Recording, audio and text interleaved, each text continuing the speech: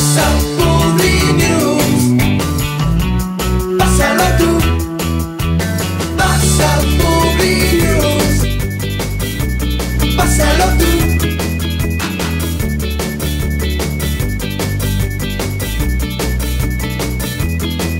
Comparte lo más importante de las noticias. Publinews, un diario internacional de Metro y del grupo Emisoras Unidas 50 años. Pasa